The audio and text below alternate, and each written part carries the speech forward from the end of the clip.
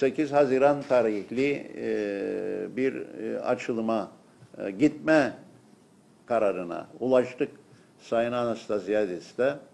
Ve o karar da aslında çok rahatlıkla uygulanabilirdi o öngörülen kesimler için. Yani güneyde çalışan işçiler olsun, eğitim alan, tedavi alan kişiler için olsun. Ancak bizim hükümetimiz de orada bir inatlaşma içerisine girdi ve aslında bilimsel hiçbir temeli olmadan süreyi ileriye attı. İki Toplumlu Sağlık Komitesi'nin Kıbrıslı Türk üyeleri, Sağlık Bakanlığı'nın bilim kurulunun üyeleri, e, hiç gerek yok 8 Haziran'da bu geçişler başlayabilir e, demelerine rağmen hükümet bu, burada e, diretti. Önce bir 1 Temmuz dedi tabii 22 Haziran'dan önce 1 Temmuz'du. Sonra 22 Haziran'a çektiler. Onun da gerekçesini şöyle açıkladılar. 8 Haziran'da Güney dışarıya da açılıyor. Hele bir 14 gün görelim. Sanki uçaklar sadece 8 Haziran'da gelecekmiş gibi. 9'unda da gelecek, o zaman 23. 10'unda da gelecek, o zaman 24. Dolayısıyla bunun bir mantığı yoktu. Ee, ama bunu aldılar. Ondan sonra da e, aniden Babalar Günü hatırına geldi hükümetin.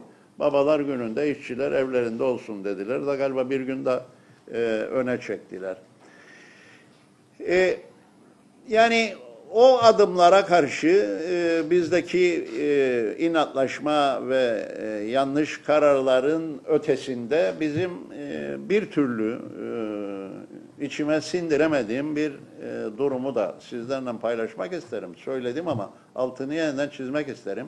İki Toplumlu Sağlık Komitesi, bilimsel temelde çalışan bir komite.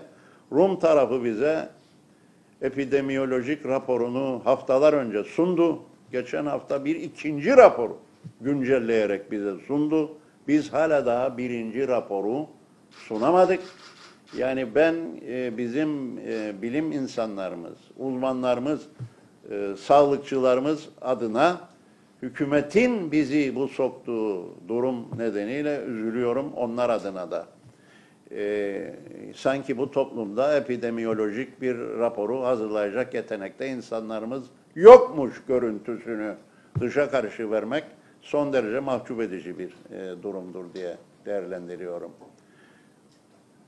Adına geçici rapor e, denen iki buçuk sayfalık bir rapor söz konusu olduğunda ben, ve ben bunu eleştirdiğimde ilgili e, yetkili kişiler bir an önce bunun gereklerini yerine getireceklerine Rumların ikinci raporuna rağmen biz hala daha bir birinci raporu bile sunamamış bir e, noktadayız.